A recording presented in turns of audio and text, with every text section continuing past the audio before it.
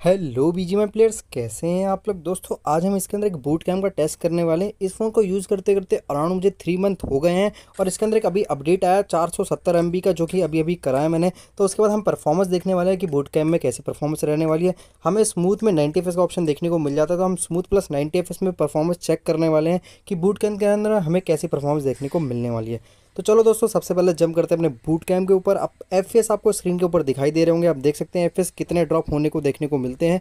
मैं आपको पहले ही बता दूँ भाई 90 एफ़ पे खेलते वक्त भाई फ़ोन थोड़ा बहुत हीट करता है, जिसकी वजह से आपको और एफ़ ड्रॉप देखने को मिल जाते हैं कई बार, क्योंकि भाई जब फ़ोन ज़्यादा हीट करता है तो फ्रेम ड्रॉप भाई कॉन्स्टेंट रखना बहुत मुश्किल हो जाता है फ़ोन कर फ़ोन के लिए। जब हम सिक्सटी एफ़ पे खेलते हैं, तब हीटिंग इशू का प्रॉब्लम नहीं होता तो आपको जब सिक्सटी एफ़ पे खेलेंगे तो आपको फ्रेम ड्रॉप बहुत ही रेयर देखने को मिलते हैं, लेकिन जब नाइन्टी पे खेलते हैं तो नाइन्टी पे खेलते वक्त आपको ज़्यादा फ्रेम ड्रॉप देखने को मिल जाते हैं, जैसे कि आप अभी स्क्रीन पर देख सकते हैं।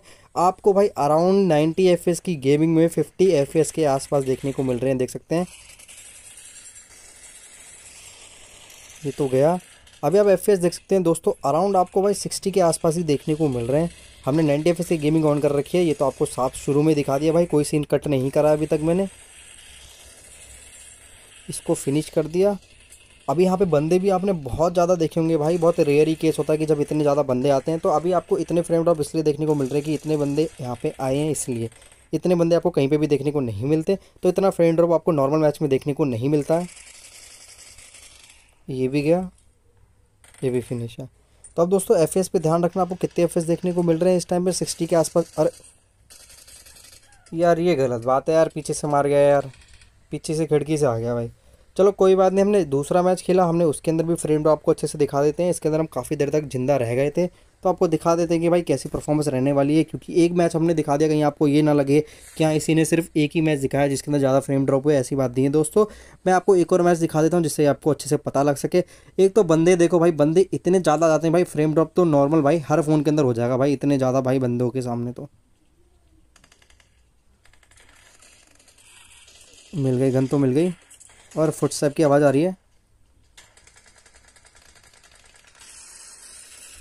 ये गए भैया। और इस फ़ोन में भाई मुझे जायरोस्कोप या टच रिस्पॉन्स में कोई प्रॉब्लम देखने को नहीं मिली। काफ़ी बंदों ने बोला भाई कि टच रिस्पॉन्स में थोड़ी सी प्रॉब्लम है, लेकिन भाई मेरे वाले फ़ोन में भाई कोई प्रॉब्लम देखने को नहीं मिल रही। कई बंदों ने बोला भाई टेम्पर्ड ग्लास चढ़ाने के बाद भाई टच रिस्पॉन्स में भाई कोई प्रॉब्लम आ रही है। दोस्तों, मैं अभी टेम्पर्ड ग्लास कुछ दिनों में चढ़वाने वाला हूँ तो आपके लिए वो वीडियो आ जाएगी कुछ दिनों में तो वो आप देख लेना। बाकी अभी तो मुझे कोई प्रॉब्लम देखने को नहीं मिली अपने फ़ोन के अंदर। और यहाँ ये दोनों बंदे ख़त्म। और यहाँ पे बंदे देखो भाई, कितने ज़्यादा रहे एफ़ भी देखो भाई सिक्सटी के आसपास अराउंड चल रहे हैं भाई। नाइनटी एफ़ की गेमिंग में सिक्सटी एफ़ के आसपास चल रहे हैं।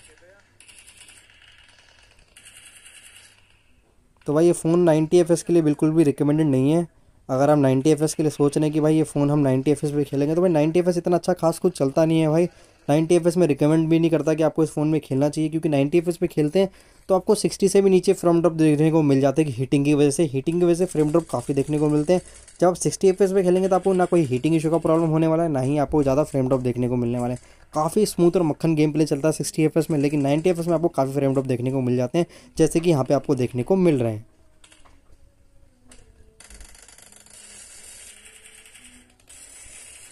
और यहाँ बंदे भी बहुत ज़्यादा भाई। बंदे तो कम है नहीं है तो आपको दिख ही रहा है यार। कितनी ज़्यादा गोलियाँ चल रही हैं आसपास। बहुत डर लग रहा है, कहाँ निकले, कहाँ से निकले? पता नहीं कहाँ से गोली पड़ जाए, कोई भरोसा? यहाँ पे आप देख सकते हैं विदाउट फाइट आपको 80 के एफ़ देखने को मिल जाते हैं, जब लड़ाई नहीं हो रही होती है। तो भाई ऐसे एफ़ का भी क्या फ़ायदा, जो भाई लड़ाई के टाइम आपको 80 एफ़ ना दे। अभी आप देख सकते हैं अराउंड 80 के आसपास चल रहे हैं। और यहाँ हमने बंदा पेल दिया है, बहुत दूर था। और ये देखो फाइट करते वक्त अराउंड सेवेंटी सिक्सटी के आसपास पहुँच जाते हैं भाई एफ़ जब भाई कोई भी आसपास नहीं है, तब आपको एटी एफ़ एस देखने को मिल जाते हैं। ये गलत बात है भाई। यहाँ चल रहा है रिवाइव और यहाँ आपको एफ़ एस देखने को मिल रहा है। एट्टी नाइन एफ़ देखने को मिल रहे हैं। रिवाइव देते वक्त, अब जैसे ही हम फाइट चालू करेंगे, तब एफ़ एस देना कितनी जल्दी से ड्रॉप होने वाले हैं। वैसे नॉर्मली इतने ड्रॉप नहीं देखने को मिलता आपको। यहाँ पे बंदे ज़्यादा इसलिए ज़्यादा ड्रॉप देखने को मिल रहे हैं। नॉर्मल क्लासिक मैच में इतने ड्रॉप देखने को नहीं मिलता आपको। ये तो बॉट था भाई।